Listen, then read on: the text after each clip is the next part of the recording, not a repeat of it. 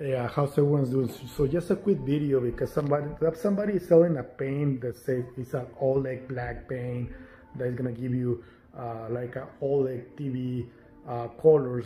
I just want you to see the video that he's showing and see the original video. This is the original video that he's showing in his video and the colors does not pop out like a OLED TV. I'm sorry, like a OLED TV, the, the colors are beautiful I would say more like a LCD TV. I pass through with that.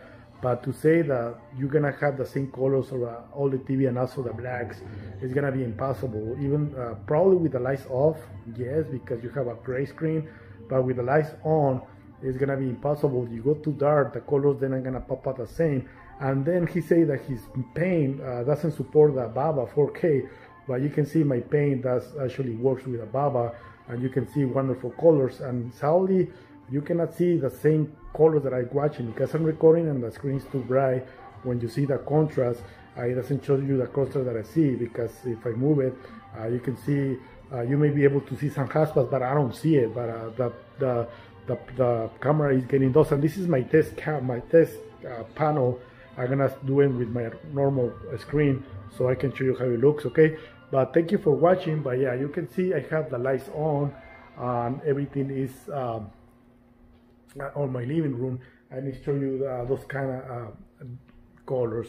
Uh, but yeah guys uh, I think uh, to say something that's gonna look like a OLED TV I, I don't think so. Like it can get closer but I don't think it's gonna give you uh, those kind of colors. Let me get closer so you can see uh, the skin tones uh, is gonna be better than when I, am far away. But you can see the colors that it's gonna give you and also uh, the contrast that you're gonna get when you have a, a great screen and also when you have a good projector okay?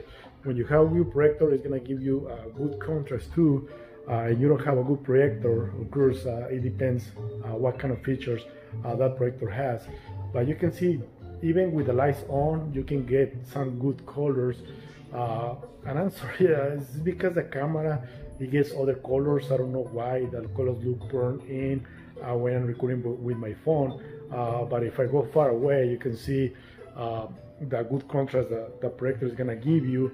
Uh, it's not gonna be pitch black because if you go darker, uh, every color is gonna change. So uh, I like to have a balance uh, with the colors. that way, I'm gonna have a little bit of, of contrast, but also I'm gonna have the, the rest of the colors because I, like I say you really want to have a balance if you go too dark yes of course you're gonna have uh, better contrast but the skin tones everything is gonna change and then you, you're gonna be problem. Remember this is my test panel uh, I, uh, because it has a previous paint on the back uh, that's why you see those little lines because it's like granite right now uh, but I need to fix that. Uh, but yeah guys thank you for watching. You guys have any questions, let me know.